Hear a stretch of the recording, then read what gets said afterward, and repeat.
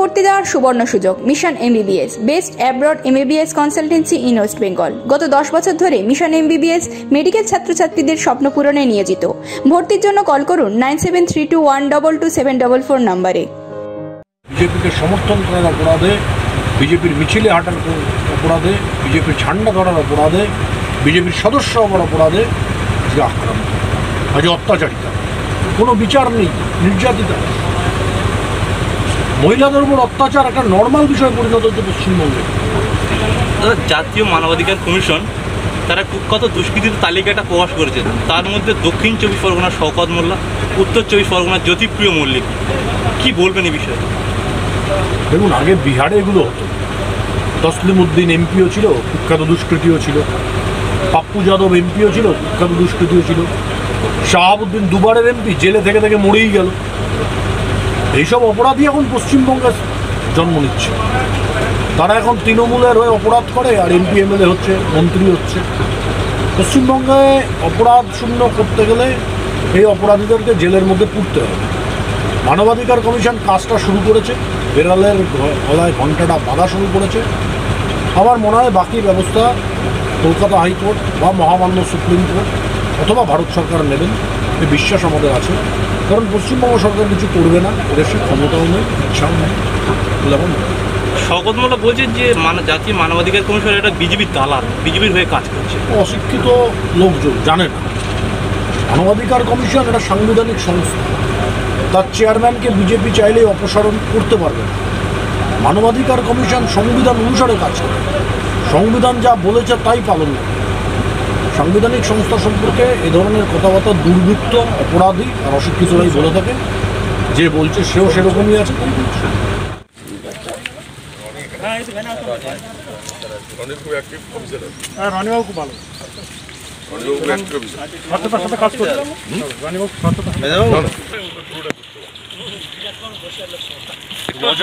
অজয় চক্রবর্তী ছিল না অজয় চক্র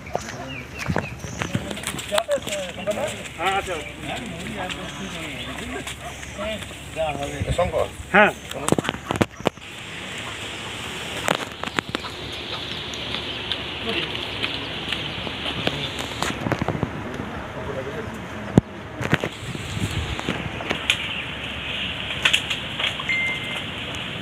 বিজেপি কে করতো বাবা না ছিল কল ছেড়ে ছিল ছেলের কি ছেলের কি সায়ন্তনরা তো জানেন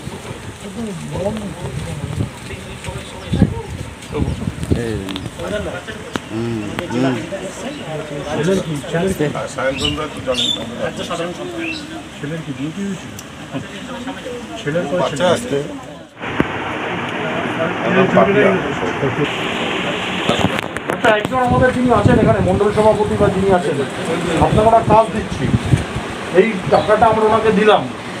কিন্তু টাকাটা এই এনার নামে এমআইএস করে দেবেন টাকাটা না একবারে কেউ তুলে না নেয় এটা আপনার দায়িত্ব। ইয়ে সুনীত দা এটা মন্ডল সভাপতির দায়িত্ব। ব্যাংকে জমা পড়বে আপনি যাবেন ব্যাংকে। একটা এমআইএস স্কিম করে দেবেন। মাসে মাসে ওখান থেকে টাকা ইন্টারেস্ট কিন্তু জমা পড়বে কত টাকা কত টাকা থেকে পাঁচ লাখ টাকা। এটাকে রেখে দিন আপনি।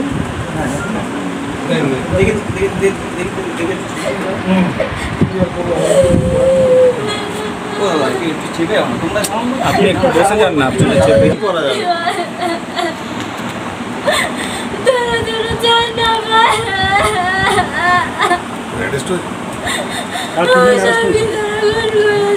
না না কারা তারা। ওই তিনজন যারা দোকান বন্ধ করেছিল না না তারা তারা কেউ অ্যারেস্ট হয় যারা দোকান বন্ধ করেছিল এমআইএস করে দেবো করে করে দিলে প্রত্যেক মাসে ঠিক আছে এটা খরচ করল না টাকাটা তুলে দেবেন না। বাপের বাড়ি কোথায়? সরকারি।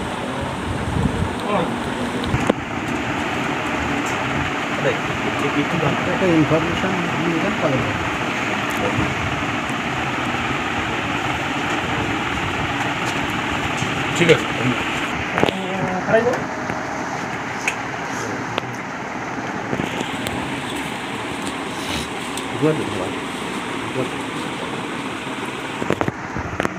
বিজেপি বিজেপি কার্যকারী সভাপতি জ্যোতির্ময় মণ্ডলের বাড়িতে এলেন এবং সেখানে আর্থিক সাহায্য তুলে দিলেন।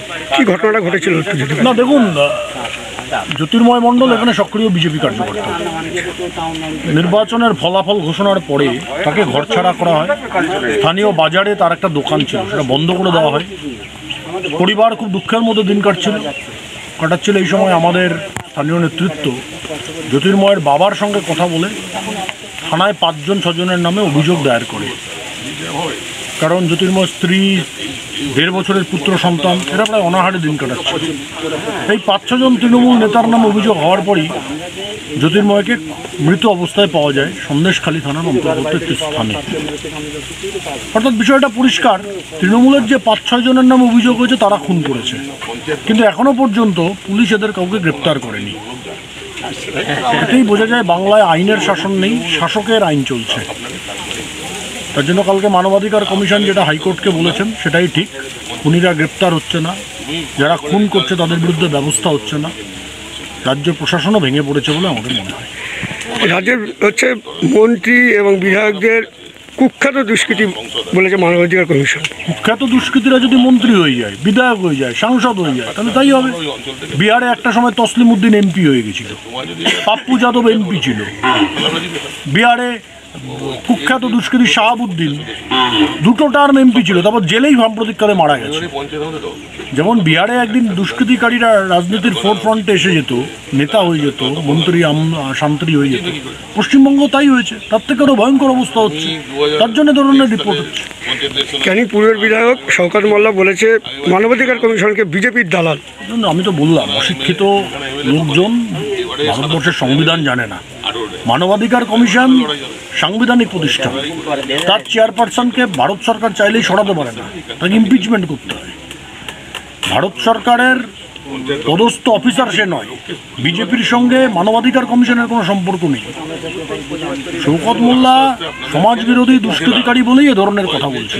এর বিরুদ্ধে ব্যবস্থা নেওয়া দরকার। বেনারসির তিন অধ্যায় রাজঘরানা রামনগর ও মঙ্গল বেনারসি, সাহাটিক টেক্সটাইল